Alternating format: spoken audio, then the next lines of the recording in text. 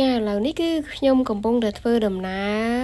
ចូលមកក្នុងខេត្តព្រះវិហារហើយ ចាផុតពីខេត្តកំពង់ធំហ្នឹងណាចា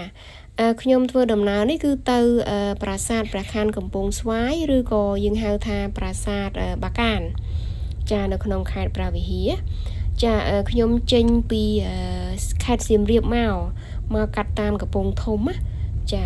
ឥឡូវចូលដល់ទឹកដីខេត្តព្រះវិហារនេះមិញឃើញស្លាក ដែលខ្ញុំថតជូនបងប្អូនមើលមិញណាហើយចូលទឹកដីព្រះវិហារហើយហើយដីក្រហមបែបនេះរហូតបងប្អូនរហូតរហូតទៅដល់ចូលទៅកន្លែងប្រាសាទណាចា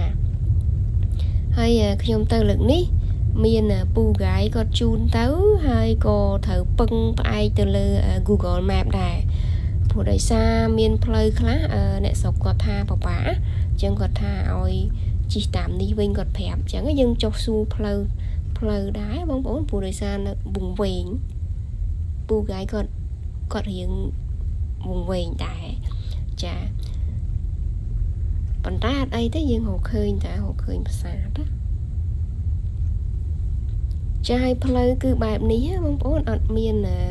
រលាក់អីទេ គឺផ្លូវដីក្រហមអញ្ចឹងពេលមានគុណសិស្សអីដើរអីអញ្ចឹងមានអ្នកតាណា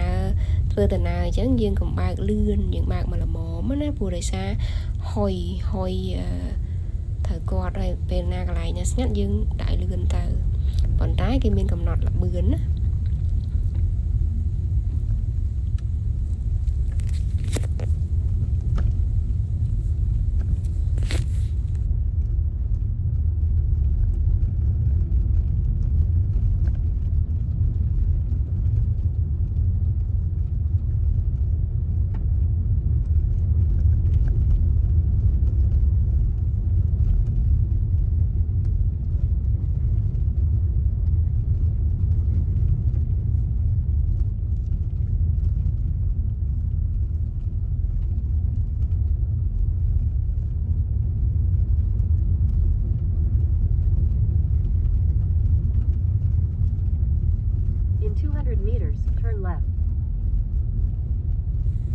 ចាតើតើទៅនឹងការធ្វើដំណើរបែបនេះអត់អាចពឹងផ្អែកទាំងស្រុងទៅលើ Google Map ទេព្រោះដោយសារមានកន្លែងខ្លះឲ្យបត់ទៅតាមផ្លូវហ្នឹងគឺមើលទៅផ្លូវហ្នឹងគឺអត់អាចជិះកើតទេអញ្ចឹងហាក់បីដូចជា tracking ទៅផ្លូវចាស់អញ្ចឹងណាអញ្ចឹងខ្ញុំត្រូវចុះសួរអ្នកស្រុកអ្នកភូមិចាហើយអ្នកស្រុកអ្នកភូមិគាត់ចិត្តល្អណាហើយរស់រាយរាក់ទាក់ទៀតអញ្ចឹងណា ចាឥឡូវខ្ញុំមកដល់ត្រង់នេះ គឺខ្ញុំក៏វង្វេង Google Map ក៏មិនច្បាស់ពូហ្គាយក៏រៀងបាក់អឺចង់និយាយថារៀងភាំងដែរចាអញ្ចឹងអឺខ្ញុំកំពុងតែបកទៅក្រោយហើយហៅកន្លែងផ្លូវចូលទៅតាមអាអ្វីដែល Google Map ប្រាប់ហើយបន្ទាប់មកអឺបានចោះសួរអ្នក អ្នកលក់ដូរនៅក្នុងផ្សារនេះមិនដឹងថាផ្សារនេះផ្សារអីទេបងប្អូនព្រោះដោយសារដូចអត់ឃើញមានផ្លាកអីផងប៉ុន្តែគ្រាន់តែដឹងថាចិត្តទៅដល់ផ្សារហើយចាឥឡូវអឺសួរផ្លូវអឺអ្នកផ្សារហើយឥឡូវអឺគាត់ប្រាប់ឲ្យទៅតាមផ្លូវនេះនេះខ្ញុំទៅបត់ឆ្វេងហើយទៅត្រង់ចាតាមផ្លូវនេះអញ្ចឹងខ្ញុំនឹងជិះទៅតាមផ្លូវនឹងទៀតអញ្ចឹងណាចាហើយអឺបានមកសន្ទុះទៀតបានខ្ញុំត្រូវសួរអ្នកភូមិនៅនឹងទៀតឃើញប្អូនប្រុសម្នាក់ដែលគាត់ឈប់ម៉ូតូនៅគៀនផ្លូវហ្នឹងហើយគាត់មើលទូរស័ព្ទគាត់អត់ដឹងថាមើលកម្មវិធីអីគាត់នៅផ្លូវហ្នឹងឈប់ម៉ូតូមើលទូរស័ព្ទនៅហ្នឹងហើយបន្ទាប់មកខ្ញុំសួរគាត់សួរផ្លូវចាឥឡូវចិត្តទៅដល់ឡា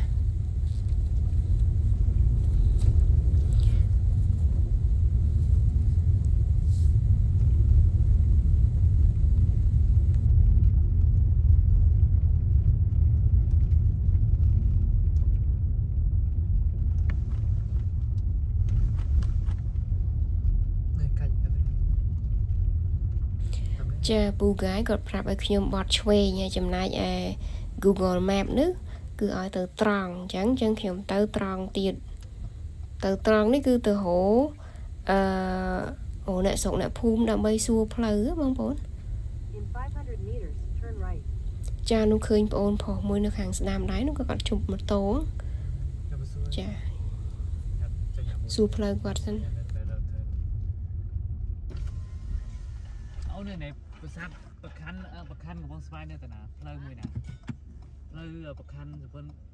ប្រខាន់កំពង់ស្វាយគាត់នៅខាងបងស្វាយក៏តាមនេះទៅតាមនេះឯងតែមានផ្លូវមួយបាត់ជឿមានប្រាសាទព្រះដំរីអូនមានផ្លូវមួយបាត់ទៅឆ្វេងដល់ប្រាសាទព្រះនរៃជីតាមផ្លូវទៅលេខរហូតដល់ប្រាសាទខាងបងស្វាយអឺទៅអាប្រាសាទនៅដំរីមុនអញ្ចឹងឯងបាទតាមនេះអូនណាមុខហ្នឹងតាមទៅទៅដល់ឃើញផ្លូវកែមួយមានផ្លាកបាយអូមានតាយខាងឆ្វេងអូនណាអរគុណណា ហើយមើលទូរស័ព្ទមើលគេនៅដល់ដល់បាត់ឆ្វេងពីកានេះថាបាត់ស្ដាំ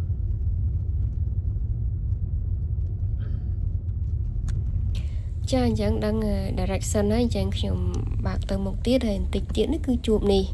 ជួបកូនមេឃុំចាអញ្ចឹងយើងត្រូវយឺតយឺតច្រើនណាស់នេះគោអ្នកព្រះវិហារបងប្អូនណែច្រើន ចិត្តដល់ហើយចិត្តដល់អា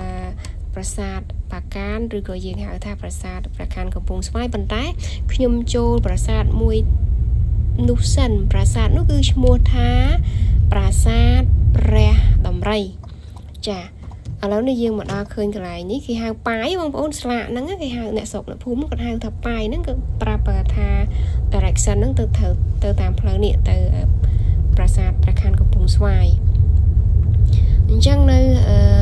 ប្រាសាទព្រះខ័នកំពង់ស្វាយមានប្រាសាទច្រើនមានមើលខ្ញុំទៅបានទៅប្រាសាទព្រះដំរីបន្ទាប់មកខ្ញុំទៅប្រាសាទចតុមុខហើយប្រាសាទព្រះស្ទឹងហើយបន្តមកទៀតទៅប្រាសាទព្រះខ័នកំពង់ស្វាយហើយបានទៅប្រាសាទមួយទៀតនៅក្នុងព្រៃដែលមានបងកងទ័ពម្នាក់គាត់ជូនទៅប្អូនប្អូនកងទ័ពម្នាក់គាត់ជូនទៅឈ្មោះថាប្រាសាទមេបុនអញ្ចឹងខ្ញុំនឹងដាក់វីដេអូជាបន្តបន្ទាប់ទៀត ជូនបងប្អូនឲ្យបានឃើញនិងស្គាល់ទាំងអស់គ្នាបងប្អូនហើយខ្ញុំដាក់វីដេអូអាប្រាសាទព្រះដំរីនឹងនៅថ្ងៃច័ន្ទជូនបងប្អូនឲ្យបានទស្សនានិងឃើញនិងស្គាល់ទាំងអស់គ្នាចា៎ចាអញ្ចឹងវីដេអូថ្ងៃនេះគឺមានតែប៉ុណ្ណេះទេបងប្អូនហើយបើសិនជាមានការខុសឆ្គងត្រង់ណាសូមអភ័យទោសឲ្យផងចាចាអរគុណច្រើន